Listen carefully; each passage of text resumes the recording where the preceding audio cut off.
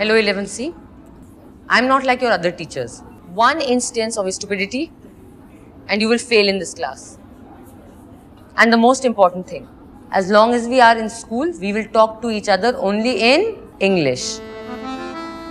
उधर बवाल हो गया चलो चलो जल्दी चलो तवर बोलेगा कुछ अरे वहाँ सानू मैम ने जीतू की ले ली सर मैं स्टाफ रूम में टेस्ट चेक कर रही थी ये कब से घूर रहे थे मैंने इन्हें इग्नोर किया फिर पास आते हैं और कहते हैं आप बताएँगे?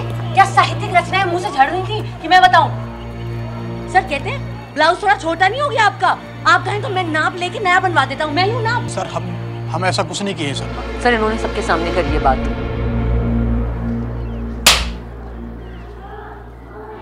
Past participle form of the verb and this can be regular or irregular. Is that clear? Yes, Okay, now who can give an example of a sentence in past perfect tense? Yes, Pooja? Nand had made all the girls his sisters before he finished first term. Okay, calm down. Yes, thank you, Pooja. That is a correct example. And by the way, there is nothing wrong in what Nand has done. It only means that he cares for the girls in the class. Yes, Nand?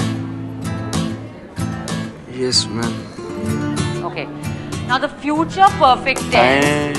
तेरी side लगी madam तेरा number भी लगने वाला बेटे भाई tuition का पहला दिन और मैं सिर्फ़ यही सोच रहा था कि कहाँ कहाँ लपड़ झपड़ का सीन बन सके Okay, so give me an example of your own of a sentence in active voice and then the same sentence in passive voice. Girls are loving me and I am being loved by the girls Wow.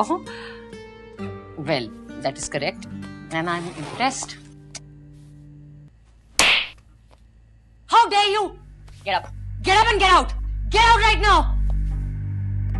Ma'am I thought कि हम Thought what? What did you think? कि मैं हंस के बात कर रही हूँ तो जो मन चाहे करोगे बाहर निकलो तुम यहाँ से। मैम आपको क्यों नहीं करना मेरे साथ? क्या? मतलब आते ही वो पप्पू केबल वाला मनोज इंजीनियरिंग वाला राहुल प्रोफेसर काली और पता नहीं कौन कौन है ये लोग नंद कौन है ये लोग? अच्छा आप इन सबको नहीं जानती? मैं पहली बार इनका नाम सुन रही हूँ तुमसे तुम बाहर निकलो तुम्हें बकवास के टाइम नहीं मेरे पास। और दिख मत जाना दोबारा। तुम लोग dare come back Nand? Yes ma'am what happened no ma'am nothing वो बस आई नो कि तुम्हारी विपुल के साथ लड़ाई हुई है किसी बात पर। इसलिए ट्रबल लग रहे हो? मैडम कुछ समझ नहीं आ रहा क्या चल रहा लाइफ में। विपुल की बात नहीं अच्छी लगती। पढ़ाई में मन नहीं लगता। और अब तो मैम प्रियंका भी बात नहीं कर रही मुझसे। I think you are ready for a lesson honesty सबसे ज़रूरी है। लाइफ में रिश्तों में पता है? सच से ज़्यादा सेक्सी कुछ नहीं होता। क्या हुआ? टीचर सेक्सी नहीं बोल सकते क्या?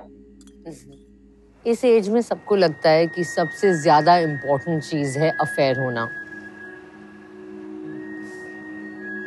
दो लोगों के बीच में अफेयर होने से ज़्यादा ज़रूरी है रिस्पेक्ट का होना। रिस्पेक्ट करोगे तो अफेयर का तो पता नहीं। पर एक जेन्यून फ्रेंडशिप होगी। एक लाइफ लॉन्ग फ्रेंड ज़रूर मिलेगी।